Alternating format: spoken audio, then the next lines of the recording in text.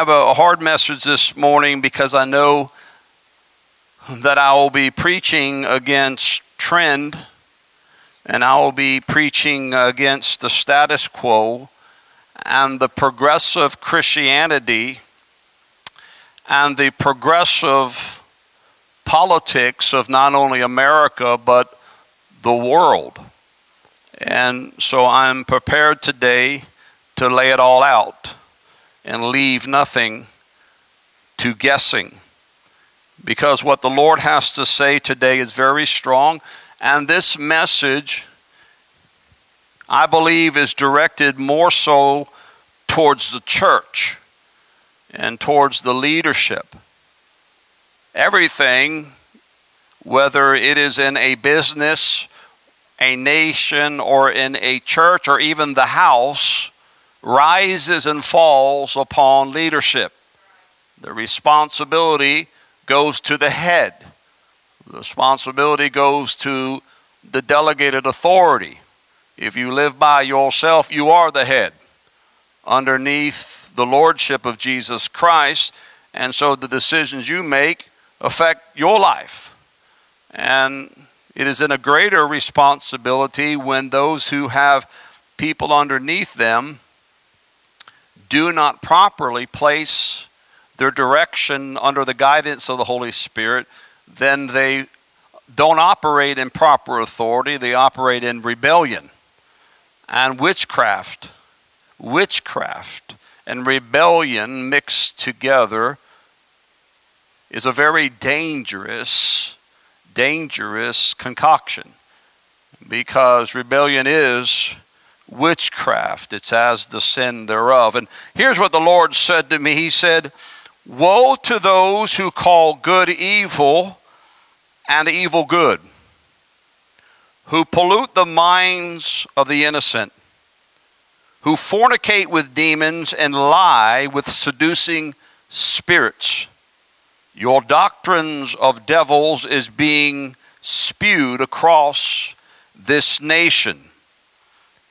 It is being written in the minds of my people, yet I find very few standing against this flood with truth. My church is drowning in deception. She refuses my help. She rejects my pleas to come out of Babylon. Judgment is the only course to bring her to reality. Wake up, shepherds. Wake up, sheep. Can you not hear the trembling sounds of judgment? Can you not see the writing on the wall? Your time is short. Your options are few. Comply with the agenda of the fallen one and die or refuse to fall for his deception and live. Choose this day. Father, hide me now behind the shadow of the cross of the Lord Jesus, that no man would see me, for my life is default. Let them see the Lord Jesus and always remember the name that is above every name. Again, I thank you for being here today. I thank you for those that are watching, those that are listening on radio and different internet platforms. We're ever so grateful for what the Lord is doing. And none of it is for self and self gain or promotion, because again, all that we do is default. Let me try that again. All that we do is default. You will not carry one thread of your clothing with you to heaven, not one silver coin or gold nugget or diamond on your finger. Someone else will take it, hawk it. Come on, church. And do something else with it while you are either in heaven or in hell. So life is but a vapor, and we don't have the luxury of time in this hour to play church. I don't believe we should ever have been playing church, but it seems as though the generations prior to us have been very serious about the hour they're living in. And now, when it's time to be the most serious, we're the most laziest. And we have lost focus of why we're here today. And we have lost a passion for the Bible and the truth thereof and the pursuit of a king. And therefore, the earth has run wild and the agenda of the fallen one seems to be on the front page every day of every newspaper. It's the headlines every evening when you go home. You hear more and more of the agenda of the Antichrist and of the beast system than you do of the gospel. And there's a reason for that. It's been written, but it's also because of the failure of the leadership of the body of Christ. It is the failure of the house of God. Because even though everything rises and falls on leadership, and I am very strong on leaders, I also blame the folks who let leaders get away with stuff. Murder and adultery and fornication and homosexuality and lesbianism and any type of ill of society and sin in general. We, we've allowed them to get away with these things because nobody wanted to call sin sin. And therefore, like the pet serpent, whom was innocent at birth, come on, somebody, but after time grew and ended up killing the owner because the owner did not realize the venom that was inside of that snake. That's what sin has done to us. And so I gave you the word that the Lord spoke to my heart, and the message that He gave me is called the Church of Sodom. The Church of Sodom. And I said, okay. And I straightened myself out in my chair behind my desk, and I knew this was going to be a powerful word from the Holy One. And I knew that there would be resistance to this today, and it will reverberate throughout the week, I'm sure. But nonetheless, it is my assignment. I will say, as I've always said, that I love everybody. Uh, try that one more time. I love everybody. And I believe that every person has a right to the cross. That every person has the God given grace to confess with their tongues that Jesus Christ is Lord, and that no part of society is damned by birth or by association. It is from the original sin of Adam and Eve that all men and women are born into sin, the sin nature. There must be a conversion of the heart through the confession of the tongue by the mouth to be born again. And only that piercing revelation can be known by an all seeing God. And I will know, and you will know by the fruit in which they live, which is the external evidence of an internal conversion. It's called the circumcision of the heart. And that is the simplest form of being born again that I know of. And man has that opportunity. He was granted equal access to God through the cross by Jesus Christ and his blood. But not everybody that is born on the earth will go to heaven. At least you won't go there and stay. Let me try that again. Everybody will stand before the great white throne judgment of God, but not everybody gets to stay. And what a terrible day that will be to be judged by an almighty God and then to be banished forever into hell, especially if you've already been in hell, and you get a moment of reprieve only to be sent back. I've just preached Bible to you.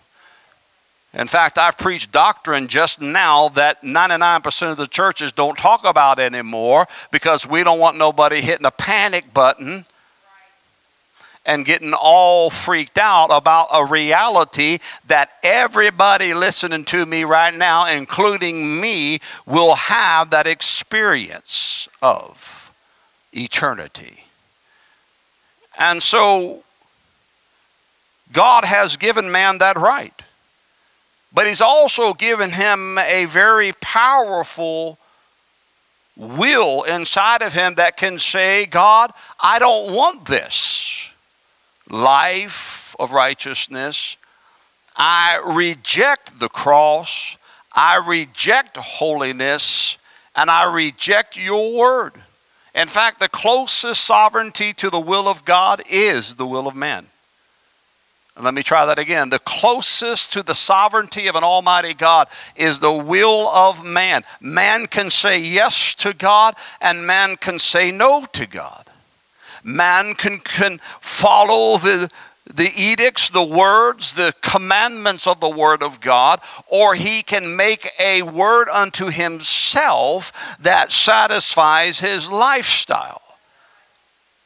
And the church is the one that's responsible to be the pen of a ready writer to write upon the tablets of the heart, men and women, the truth of the Word of God, and to tell them what life says, what the Word says, what the truth says, what the way says, and not to allow trends or some politician or some actor or activist tell them what truth is and what life is.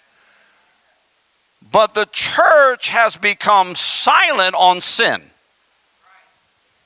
And because we become silent on sin, the world has roared with what they believe is righteous. And thus, the church of Sodom has been alive and well in America for a while, but it's expanding. And I want to talk to you this morning. Go to Jeremiah chapter 23. Jeremiah's back a little early from winter break. But welcome back, Prophet Jeremiah. Can anybody say amen? Thank God for prophets today who speak the word of the Lord. I don't know of many prophets. Let me try that again. There's not many prophets in the land today, true prophets. I'm not talking Brother Yay Yay and Sister Nay Nay. I'm talking about true Holy Ghost men and women of God they're very few today. Got a lot of wannabes. Are you there in Jeremiah? I know it's been a while. I want you to cut your finger on the pages looking, but I will begin in verse 1 the church of Sodom. Woe be unto the pastors that destroy and scatter the sheep of my pasture. Woe. Woe.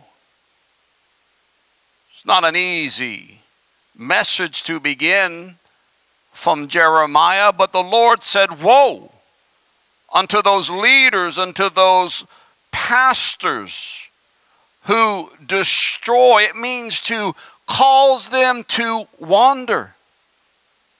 Jeremiah, I got a problem in the camp. I got a problem in the church of Sodom. I got a problem in these United States of America and the UK and the world. I've got a problem with my body, Jeremiah. We have leaders that want to lead my people astray. Astray from what, Pastor? Lead them astray and make them wander from the truth. To make them wander away from the old fashioned, if you will, gospel of Jesus Christ. In fact, the trend in the American churches today is to do just that be trendy. Make everything fashionable. Make everything attractive. Make sure everybody's comfortable. Make sure you got your pillow in flight. And we have in flight entertainment and all the entrapments that keep you snoozing as we slide down further into the abyss. So, woe unto the pastors who destroy and they scatter. It means to dash them into pieces. How do shepherds destroy and cause people to wander and dash them into pieces with such strong words of the Hebrew because they don't give them the rock solid truth of the Word of God. They break them apart. Their lives break apart. When you mix anything with Christianity that is not of God, it is fragile at best. When you mix philosophy and politics with Christianity, it's fragile. When you mix the pursuit of the love of money and fame and all the other entrapments with Christianity, it becomes fragile. And that is why Christians break when every wind of doctrine comes and every wave of crisis comes and every adversity comes and adversary comes. They break because they're not on the rock of ages, on that solid rock of the Gibraltar of faith. Why? Because we don't teach people how to be solid anymore in Christianity. We teach them how to cruise and how to look through the menu and find out what fits you in your spiritual diet. With the look of some folks, we need to do some more dieting. Is anybody here today, including your pastor, but I'm not speaking of the waistline. I'm speaking of the internal man because now we have so many channels to choose from and so many voices and so many so called pastors and prophets and leaders and, and all these people, these charlatans to choose from. People sometimes wonder what is my digestion? What is my diet of preaching and these different things? And I have to tell folks it ain't much, not, not of today's folks.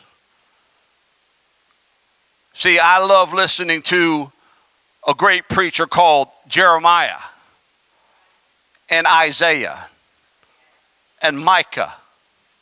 Come on, somebody. And Jesus the prince of all preachers, the prophet of all prophets. I said, I like to listen to truth.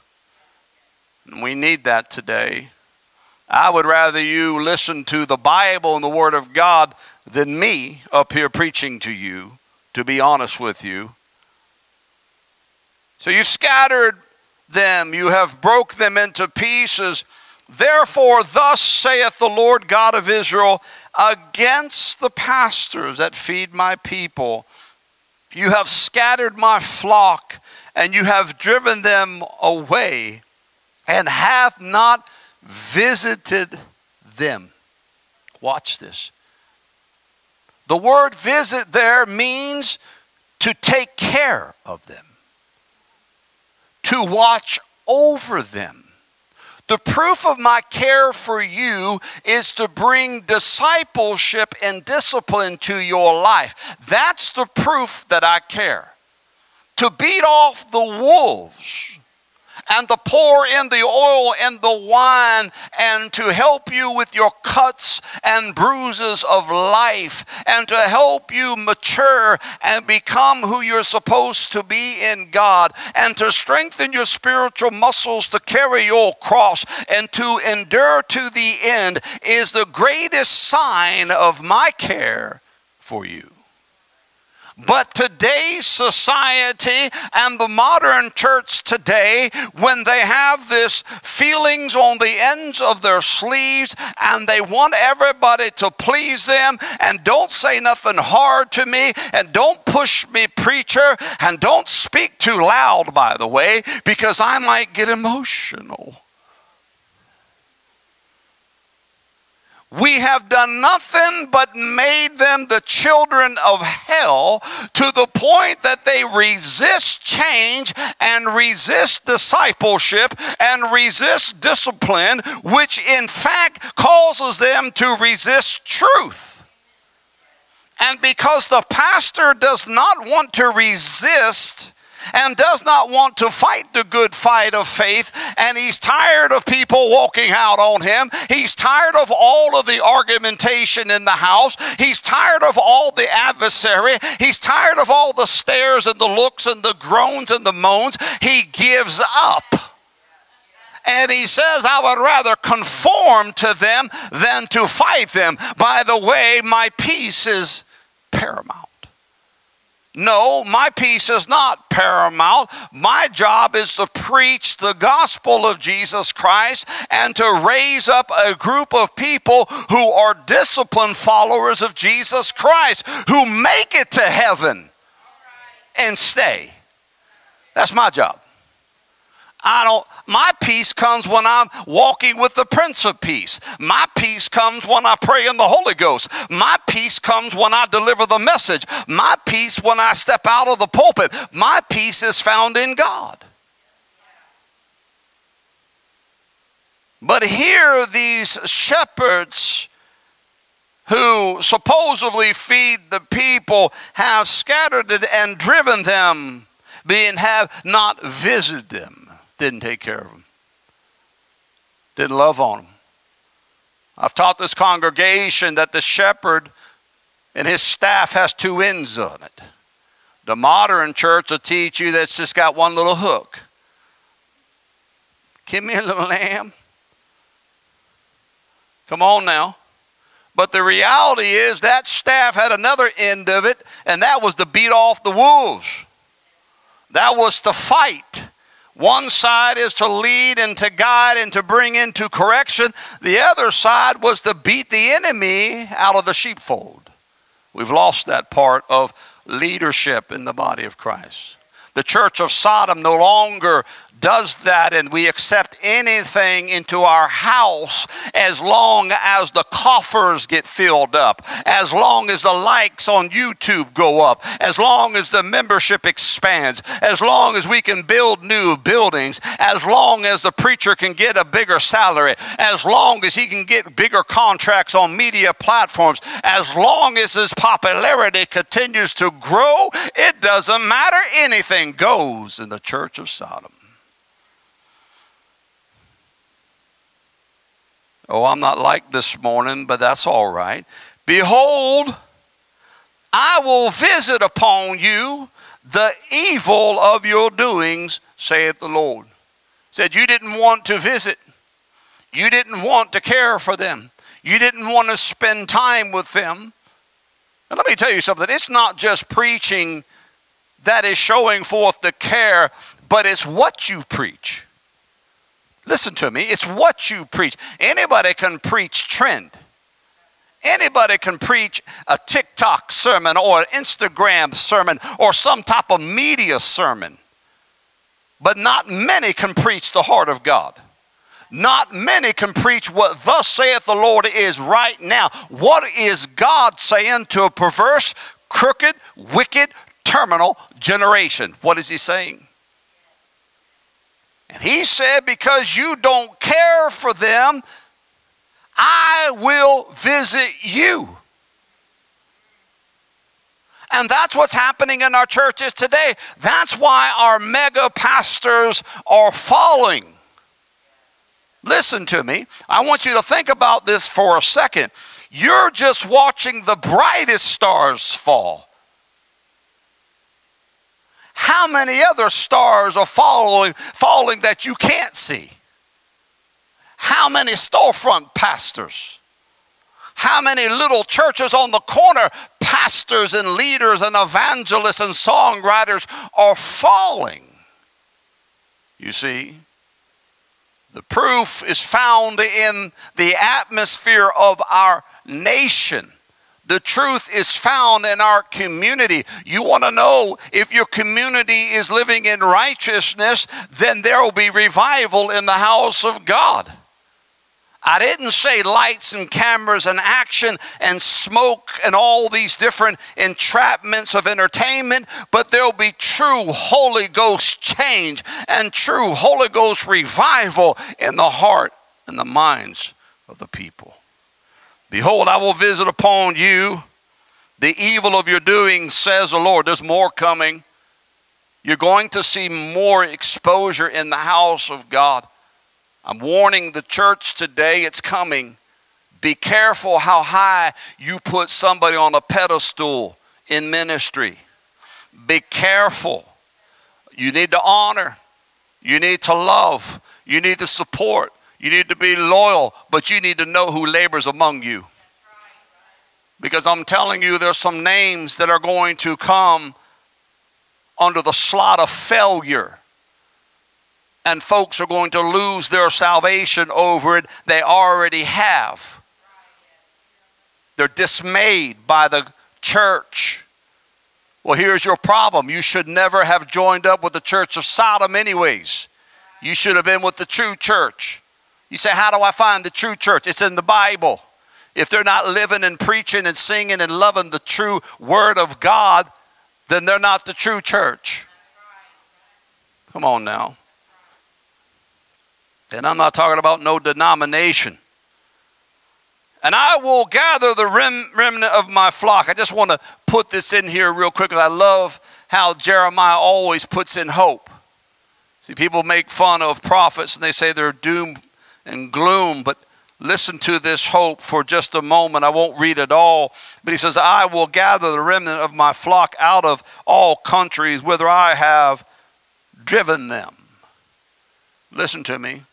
There's a double understanding of this prophecy. Yes, it deals with Israel and future events and of current days and what the Lord has did for them as a nation, but it also is talking about what's happening now. The church of Jesus Christ is alive and well. There is no doubt about it. The called out ones, the ones that love God, the firebrands, the remnant, they are alive and well today. And God is moving through His church all across the earth. You better believe that. And so there's a great promise of God bringing forth shepherds. And you can read it all the way down to verse 9. The king is definitely coming, talking about the promises of our king. He is coming. Isn't that good news today? He's not going to leave us here stranded and abandoned. Verse number nine. Are y'all okay with this? You're not nervous, are you? Are you mad? Just give me a few more minutes. Because madness makes you change, don't it? When you get a little angry and grumpy.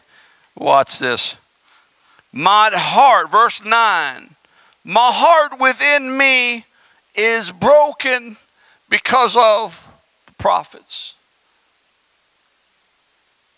The King James does not do a good translation on the word broken, it means to burst open. My heart is bursting wide open because of the prophets.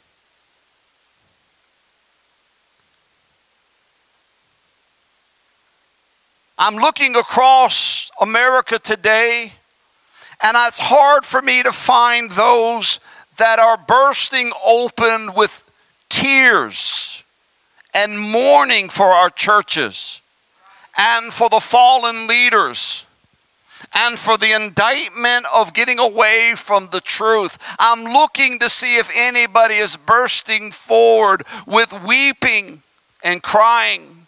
Though I know they're in the shadows and I believe that they are there because God always has that remnant but the reality is, we do not see it in our churches. We don't hear it in our preachers' voices. We don't hear passion anymore. We don't hear it in morning prayers. We don't hear it by the church crying out to a living God and saying, God, the prophets, the prophets, the prophets have turned their back on you. The reason we are in the condition we are in is because we don't have prophets. and pastors who hear from God. They hear from marketing managers and advertisement folk. They hear from board members and people with money and political organizations. They don't hear from God. He said, My heart is broken within me because of the prophets, and all my bones shake. I'm like a drunken man. I'm like a man who his wine has overcome. In other words, he's so out of joint and so out of shape and so out of function because of what? Because of the Lord and because of the words of his holiness. Jeremiah, look at this with me. Jeremiah, use your imagination. He's a prophet of God. He has a job, he has a ministry, he has an assignment, and that is to go to the leadership, both political and religious, and tell them that you are false and to tell them that you are wrong. And he looks across the landscape, and his heart begins to burst with sorrow because he sees the unrighteousness, he sees the adultery, he sees sees the homosexuality, he sees the fornication, he sees the gambling, he sees the theft, he sees the divorce, he sees the breaking of homes, he sees the splitting of churches, he sees all of the corruption, the conspiracy that takes place in his nation, and he weeps and he's like a drunken man because folks have lost the fear of the Lord. They lost the fear of the Lord. He said, Because of the words of thy holiness, the holiness of the word of God, men don't fear God anymore. Men can do what they want to do on Saturday night and stand up on Sunday morning and preach like a man from another world, and nobody knows the difference that they've been living in sin. Nobody knows the difference that they're dirty inside and they're dirty on the outside. And they accept it because the show seems to go on. And there's no fear. And even when they do hear that the pastor has sinned, oh, they may say he had a little trouble with his flesh. Oh, they may say it was the wife's fault. Oh, they may say it was COVID. Oh, they may say it was just pressure. Oh, they may say it's because he was just too high. He'll be okay. Just give him a little time away. And you know that's the truth and they barely discipline the person and put them back into the pulpit, and you've made them twofold more the child of hell when you've done that. And now they get emboldened to do things even further and to go further into sin and go further into debt. And the church does nothing about it. The church of Sodom does nothing about the sin. But Jeremiah said, I'm, I'm broken. I'm broken because I look and I see that nobody fears the words of God's holiness no more. And as a pastor, I know it and I see it in people been doing this for over 25 plus years, and I've watched how people enter into the house of God. I watch how they serve and volunteer. I watch their life, and their life dictates how they believe this word and how they feel about this word. Because I ask you this one thing if you really feel the, feared the Lord, would you act like you do, like you do right now? Somebody help me in this Presbyterian seminary. Is anybody here today? Would you act the way that you do? Would you sing the way that you sing if Jesus was standing right here, right now? Oh, no, Pastor, I would, holy, holy, holy. I'd fall on the ground, I'd be weeping, I'd be at his feet. You don't do it now. I told you it's going to be rough today. You get mad, maybe your last service. I don't know. It's maybe the last time they click on the watch and listen. But I'm just telling you the truth. Because we fake it in the church of Sodom. we fake our Christianity. We act like we love God. Well, I don't know. The music just wasn't right. It just, how do you know the music going to be right in heaven for you, sweetie pie? What if God decides to go Acapulco? Acapella, by the way, for you don't know where Acapulco is and what it is. Huh? What if he just tells those angels, be quiet for a second, get off of that instrument, and let's hear these folk? I hope he don't ask this church to clap. Because this church can't clap. Flows like she's shaking. We try to get you all some clapping songs, it don't work. Anybody here today? What, what would you be like?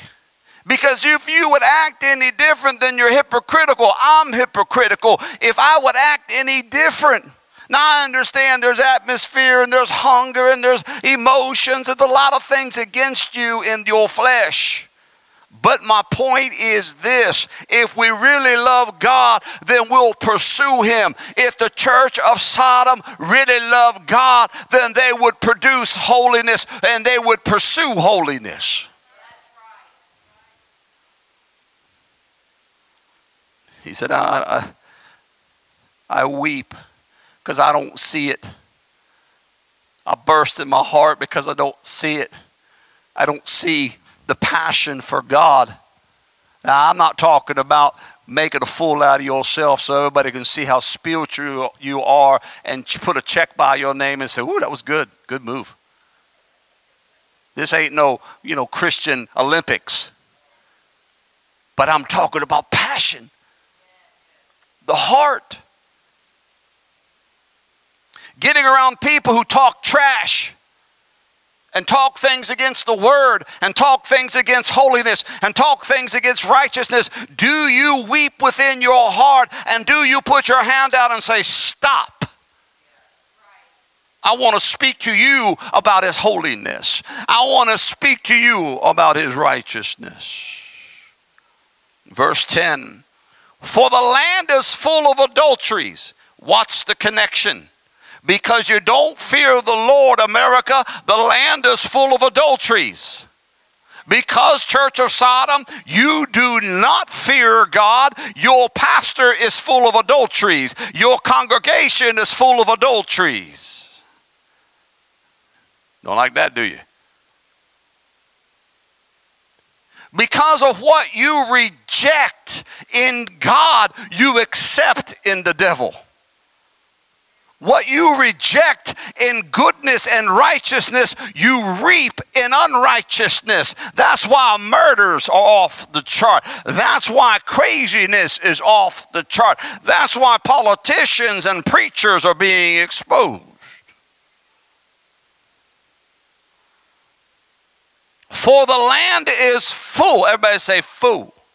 That's a lot. Full of adulteries. For because of the swearing, the land mourneth. See, this is what you get. The word adulteries there is very interesting because it's not just fornication of the flesh, but it also means apostasy. I remember somewhere in the Bible, in the New Testament, I believe a gentleman by the name of the Apostle Paul said that there would be a great falling away first. There would be a great falling away, and in other places of Scripture, we'd find that the church will become lukewarm. And because there's no pursuit of holiness, that apostasy begins to take place, and like a wildfire, it fuels the fire. And it fills up the entire nation and the land thereof. And that's what he said. This is what we're seeing, and this is what we're experiencing, and this is what we're going through because there's no fear of the Lord. The adulteries and the swearing, the swearing basically means this of making oaths and promises Do you recognize and realize that in the fake false church of America, the church of Sodom, when people get up and they sing what they sing and the words that they pronounce and the confessions and everything of the whole circus of a church service, do you realize they are making a false oath to God and they are swearing? They are saying they're in covenant, but they are not. And that, sir, and that, ma'am, is dangerous and will damn you. Because you are evoking the name of God, but you're provoking him to anger because with your mouth you please, but in your heart you despise. It's dangerous. Dangerous, church of Sodom. That's why we're shaken right now. That's why leaders are being exposed.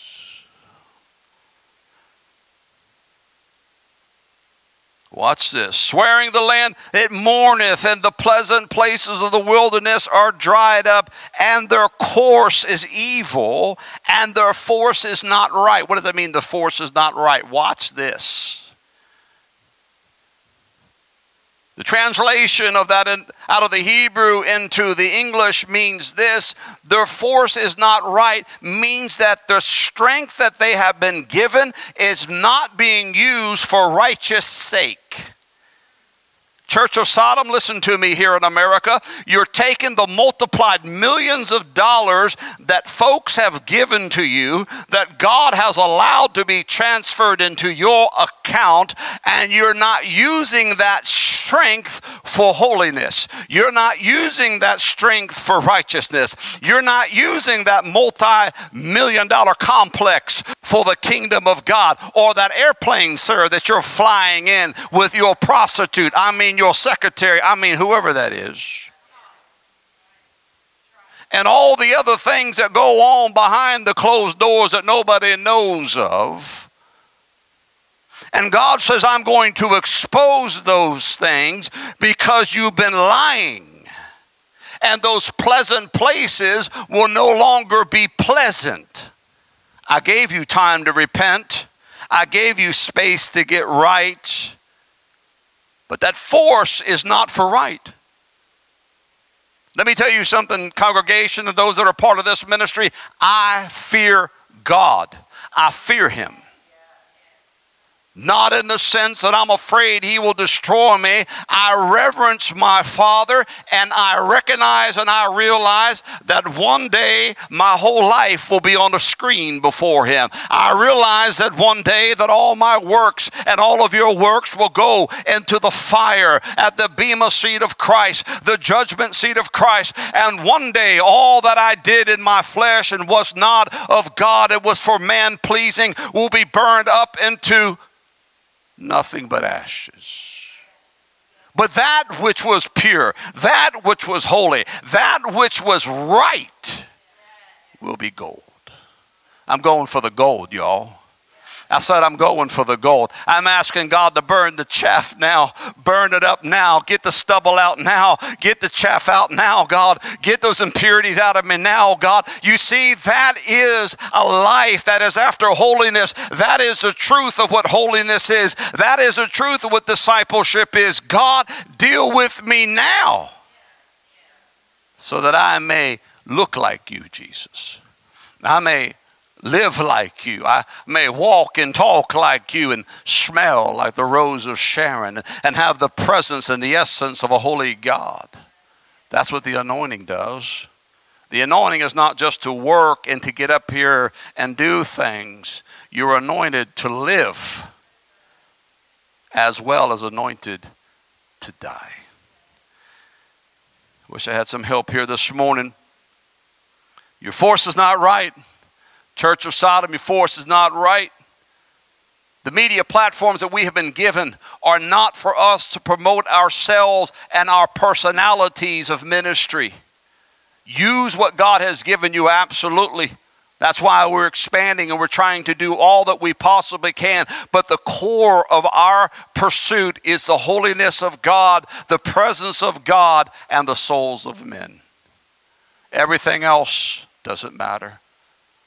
I'm not going to stand before God, and neither will you, and see how many subscribers you had, and likes that you had, and all of these things. No, it'll be about the heart.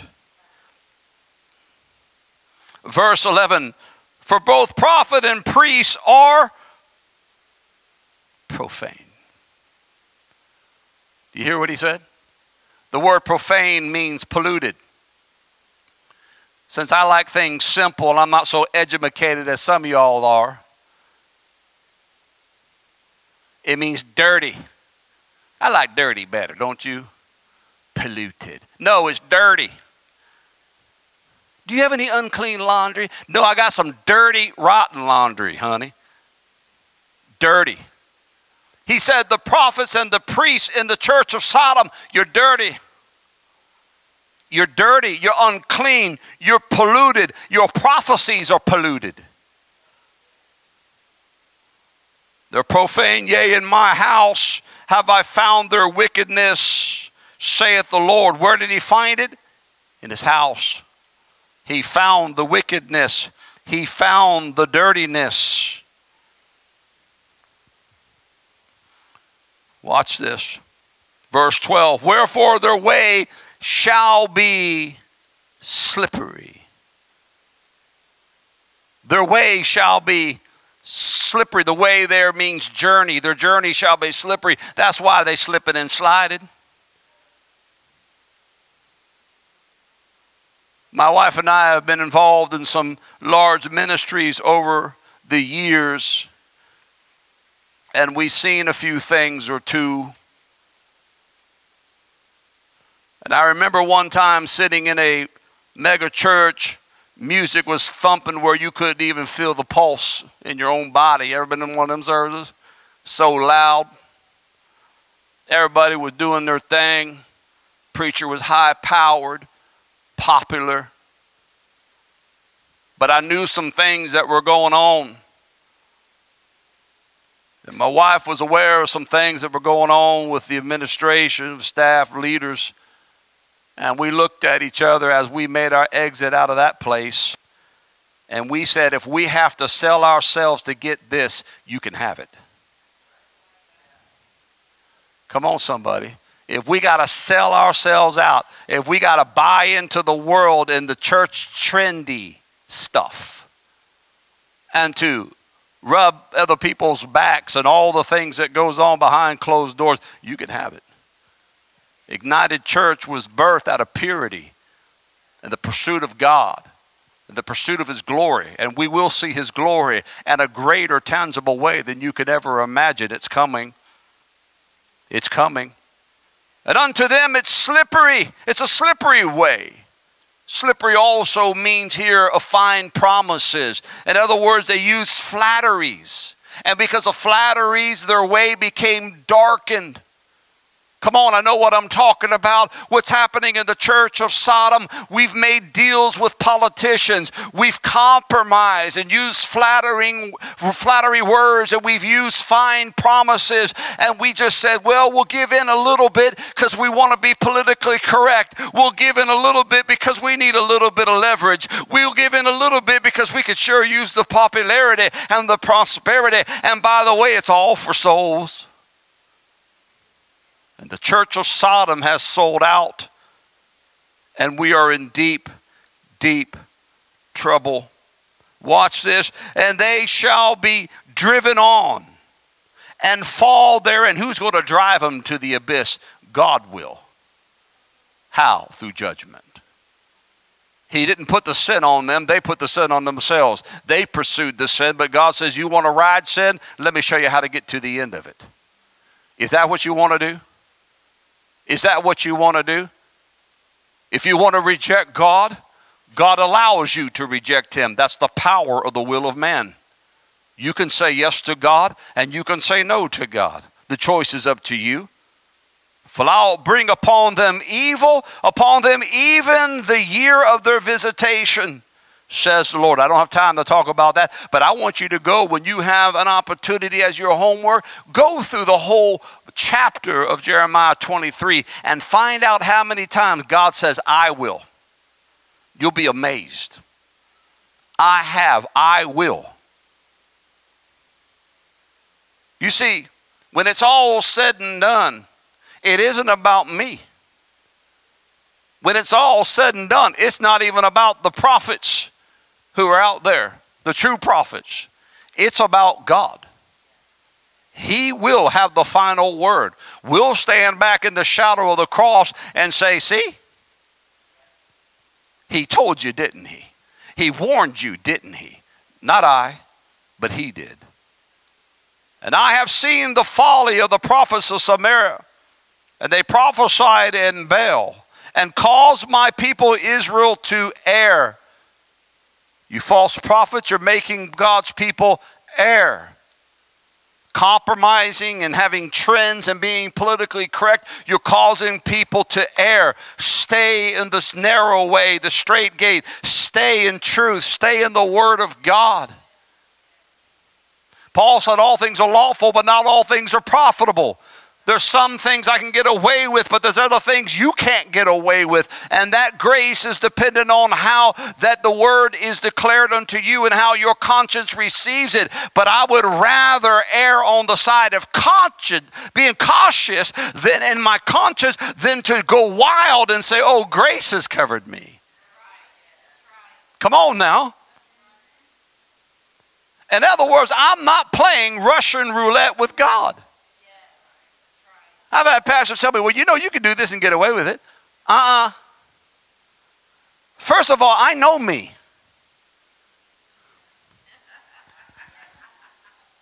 I wasn't always an angel. I just blew Flo away. She, she just thought, oh no. My wings, well, I didn't have wings. Come on, somebody. I know me. There are things I don't need to do. There are things I don't need to see. There are folks I don't need to be around. Oh, you're just not mature. I'm alive.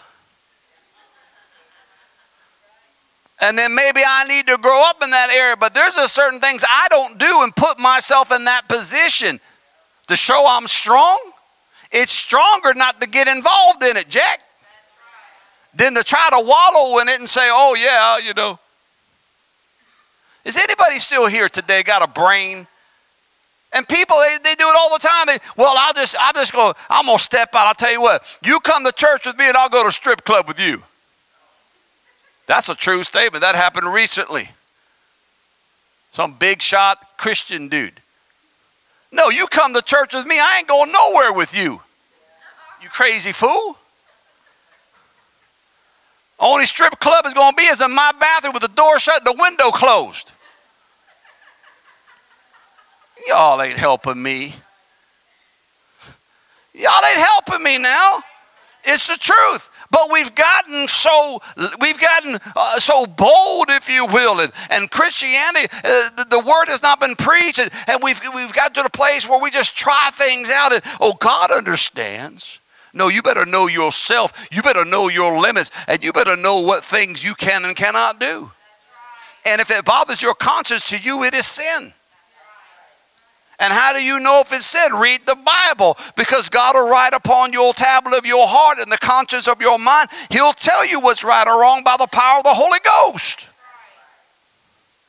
But see, again, the church of Sodom and our false prophets and our false leaders have watered this down to watch this. We don't know the difference between condemnation and conviction. Conviction brings you to repentance, condemnation makes you feel bad. That's all it does. Just a little moment of feeling bad. You're just trying to condemn me, Pastor. No, I'm trying to keep you from going to hell, sugar bug. Yeah, I'm trying to keep you from spending eternity away from God because of your little moment of sin. Hey, sin is fun for a season, but that season does end. And then there's payday, baby. Uh, let, let, let, me go on. So I, I'm not going back to the vomit. I know who I am. If I get put in a situation, I know who I am. I know how to handle myself, believe me. I'm not a prude. I'm, a, I, I, I, you know, I'm not some Puritan and, and, and born in the church. But I'll tell you right now, I'm not going to put myself in a position to bring myself harm or my family harm to show you how strong I am. Is anybody, can anybody see that today? I, I got to go. You took away my clock, so now I don't know. I'm just going to preach it. Watch this. I got about 17 more pages. You think I'm kidding? And I've seen the folly in the priests of Samaria. Watch this, verse 14. I've also seen in the prophets of Jerusalem a horrible thing. They commit adultery and walk in lies. God sees it, folks. Pastor, listen to me. God sees you. God sees you, and you're lying. They strengthen also the hands of the evildoers. When the pastor stands up and he lies and he tells you you can fornicate, or he can tell you you can get away with a little flesh, or you can watch a little skin flick, or you can do this, or live in a, a homosexual lesbian lifestyle, or you can smoke a little bit here and do a little bit of recreational drugs here, or put a little bit of wiki in your body. That's whiskey if you don't know what wiki is. Come on, somebody. It's five o'clock somewhere, and that whole mentality of working hard and partying down because you earned it that is in the church. It's in the church. It's a good old boy church.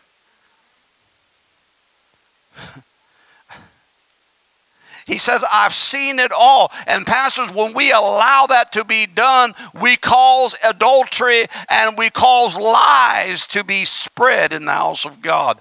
Because God says, no, that's not how you're going to live. That's not how I live. What happened to follow Christ? What happened to have the very image of Jesus anymore? Now we want to model ourselves after Pastor Kardashian or St. Trump or Bishop Biden. Y'all ain't helping me. Pictures of praying. Uh, I, I want to puke, man. I, I, do. I, I want to go get me one of those. Well, we were talking about the other day after service. Mary was. We were talking about those bags of the airplane. They call them sanitary bags. No, puke. They're a puke bag, barf bag. You can edit that if you want. You can leave it on. I can care less. It's the truth. Somebody need to talk plain, don't they? Somebody needs to explain it perfectly make me want to puke. Sit there and be one of the most pro abortionist type of administrations and pro homosexual and all the deviant stuff that's going on, and you want to sit there and say that you're praying to my God? You ain't praying to Jehovah, dude. None of y'all been praying to Jehovah. And I, I don't have time to kick open that can, and I got to go. But I'm not done. Watch this. And they walk in lies, and they strengthen also the hands of the evildoers. Yeah, you helping them. That one doth not return from his wickedness. They are all of them unto me as Sodom, and the inhabitants of who? Gomorrah. Welcome to the church of Sodom. Notice it. They don't return they don't come back to holiness. They don't come back to righteousness because you strengthened them. You told them it was okay. Watch. I'm bringing this to a close momentarily. The reason we are at the onslaught of what we're going to face in Christian persecution in America is not because of the heathen. It is not because of the pagans. It is because the church has allowed the sewage and the leaven to come inside to the hearts of the preachers, and they don't have backbones anymore to stand up and tell the truth about the Word of God in love. We're afraid. We have now become polished CEOs who articulate a philosophy of trend and culture and political correctness rather than Holy Ghost fire and Pentecostal truth of the Word of God. And Pentecost is not a denomination, it is a movement of the Spirit of God. It's the fire of the Holy Ghost. It's the fire that shut up inside of you, inside of your bones. You can't help it. And you want to live righteous. You want to pray in righteousness. You want to preach in righteousness. and you pursue holiness. As I began my message, I love everybody. There's not a part of culture that I don't love. I wasn't born in a church like some of you all were. I was a sinner. I lived a very bad lifestyle. I've seen just about everything and things I wish I never had seen, but they're a reality of who I am. And so when I preach from that perspective, I preach from the perspective that you can be changed and you don't have to follow the way of the world. I'm talking church folk first. But the church of Sodom has diluted the truth, and now the world has gone wild. In my message, I told you fatal decision. The church would go into exile at some point due to our sin, due to the unrighteousness that is going to take place in this nation and around the world. I shared with you a little bit about that as well the other time that we got together as the United Nations is taking names of those that oppose the LGBT barbecue agenda. Now, there's a reason why I always say it wrong, is because I will not give them credit or honor. They are a militant movement to destroy the innocency of God's creative order and plan. And I disrespect them. And I will always disrespect them as I would the Adulterers of America Union. Somebody's going to Google that. If you find it, let me know because I don't know. I just made that up. I'm an equal opportunity offender if you don't know me by now. Or the potheads of America, or the mushroom smoking token whatevers. Local number 55. The problem is the church has been quiet, and now the nations are roaring with their agenda, and the church of Sodom has allowed it to take place. Let me give you a few headlines before I leave you today. I hope I have a few minutes left of your time and patience. Cadbury, if you don't know about this or seen the commercial, they now have a same sex kiss commercial where two men are taking the Cadbury egg and eating it together, mouth to mouth. My last Cadbury was eaten a long time ago. You say, why does that matter? It matters because it is causing our generation of young people to be polluted.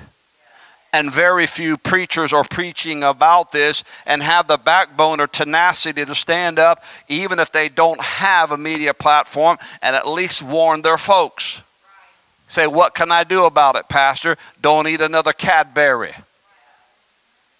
Don't put your money in it protest it, boycott it, whatever you need to do, but it won't be in my house and it certainly won't be in this church. We don't celebrate the day anyhow. The House just passed the Equality Act. If you have been sleeping upside in a post hole or just got back from the moon, the Equality Act has been passed in the House. Now it must, must go to the Senate. Will it pass? I don't know if it's this round or next round or next administration or what happens down the road, but it's coming. The Lord said so, and it will be a fatal decision. And the church will go into exile at some point because we'll be persecuted for our beliefs. And there's too much to talk about it, but they're going to try to make the church hire those that live in that lifestyle, and that ain't happening. Is anybody here? And they're going to try to silence the pastors because you're picking on a certain people group who now have civil rights. Listen to me. I said this before, and I'll say it again. Every black person in America ought to rise up and say, Hell no, you're not going to hijack the civil rights because of your sexual deviant lifestyle. You ain't going to find many people say that. But I'm telling you the truth. That ain't what the King, Martin Luther King, marched for. No, sir. Come on, nobody's helping me. Now nobody wants to be my friend. Everybody's shell shocked. He just said that.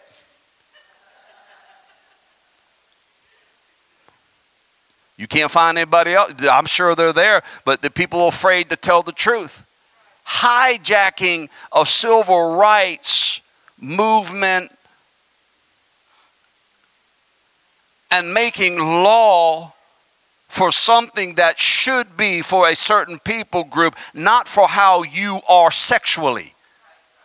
That is an agenda from hell. And that's why I got a problem. And that's why God has called me to speak out against sin. Again, I, I'm, I, I, the, the adulterer, the fornicator, the proper, uh, the, the pornographer, all those folks, I got the same, same message for you. But right now, this is the trending agenda of the fallen one. And it affects my children and your grandchildren, the children to come. I got a problem with that. It's the inheritance of God. What will the church look like in 20 years from now? I'm afraid to wonder. Look who they trying to put in, in, in, in positions in our, in, our, in our country, in the highest offices of the land. Look at some of that. You understand where I'm headed? It's the church of Sodom. The church of Sodom opened the door, let it happen pastors and preachers and, and prophets need to be thundering from their pulpits to at least save the conscience of those that are left. I'm not talking to change legislation. Go for it. You want to march up there? Go for it. You want, you want to get elected? Go for it. I'm not talking about that. I'm not into that patriot, patriotic type of church movement, nationalistic tripe. I'm talking about kingdom reality of the end times and trying to save my children and their conscience and the innocency of what's to come. GLAAD. Listen to this GLAAD, gay, lesbian, I don't even know. They're just glad. The organization that pushes for change and transformation in the arts and politics, they're pushing for 20% by the year 2025, 20% of all main characters and actors on sitcoms to be transvestites, transgender, gay, and lesbian.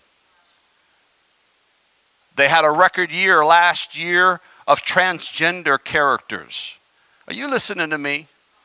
And the folks sit at home and they gobble this propaganda up, and the spiritual disease goes inside of them. And those who are, watch this now, I'm talking about those that don't go to church, they just live stream everything and watch sitcoms during the week. You put that in your spirit, and you spend more time hearing that demonic doctrines of devils. So when a preacher like myself stands up and says this, you look at it as bigotry and you look at it as trying to be against the status quo and the trend. And you don't receive it because you can't receive it. To you, it is something spiritually discernible. You just don't have that. Man, I could do this for another two hours. You put this in your spirit. You know how many sitcoms I watch? None. Zero. There ain't nothing funny to me. It isn't funny to me to see somebody in that lifestyle. That's not funny. The cooking channel. What see? Are you here today?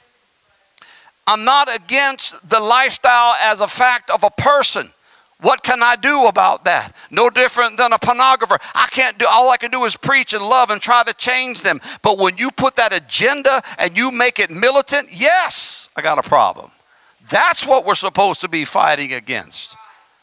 I'll treat you with love. I'll treat everybody fairly. But you, number one, ain't putting your hands on me, and you ain't putting your hands on my children, and you ain't putting your doctrine. I don't care who you are. If you're a drug addict, man, uh, listen to this. You, how, how much long do I have? I got to know. Somebody tell me, because I'm serious, I could do this for hours. I'm 10 minutes over. I love it. YouTube can go on. You'll just have to edit it for, uh, for WILR. Those on live streaming YouTube, enjoy this bonus round. I'm just going to do it. Can I do it? I got to get this out of my system, or my wife's going to have a hard day or two. Listen, I'll just keep preaching to her. My children will be like, come on, man. They had a debate during the time of the Equality Act. Some of y'all may know about this already. And during the debate, they had a Republican guy up there was talking about how that, you know, this would create the right to kill babies and abortions. You know, I find it so funny that all of a sudden we have these righteous conservatives, the ones that support the LGB barbecue, by the way. Then something like this comes up and it's oh, oh so bad. But he made some good points, and I'm glad about that.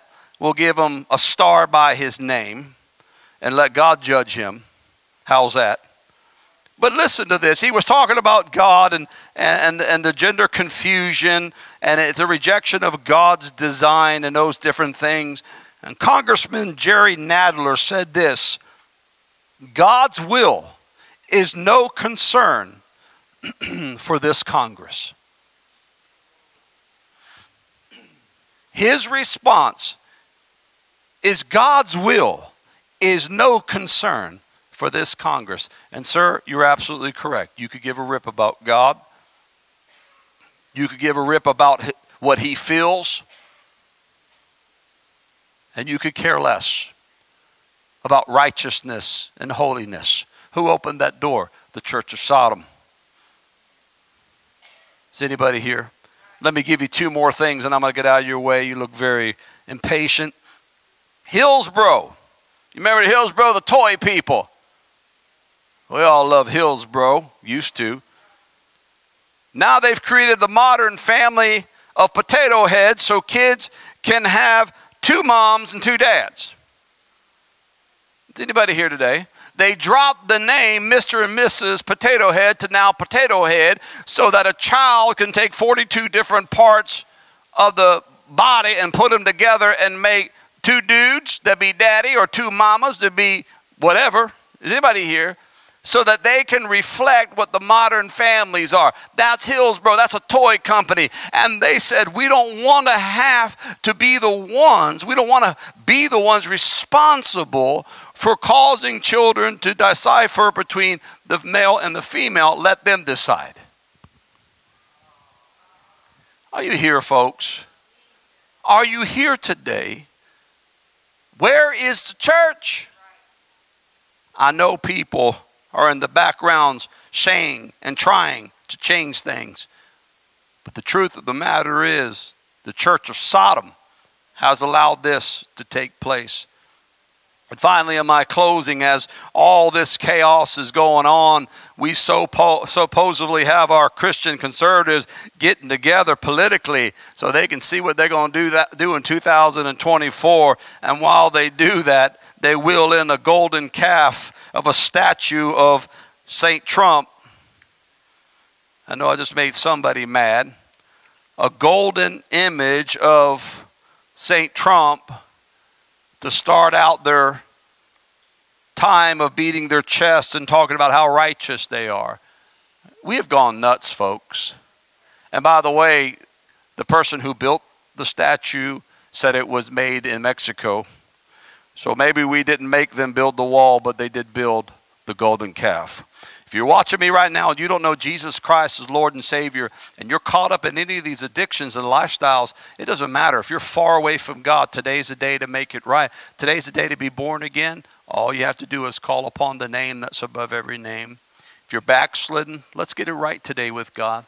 If you've been a part of the church of Sodom and you think that some of this is funny and some of this is cute and some of this lifestyle doesn't matter, and you're part of the progressive Christianity movement that says that Jesus accepts this and grace covers it all, you're deceived and you need to get right with God today. You can do it.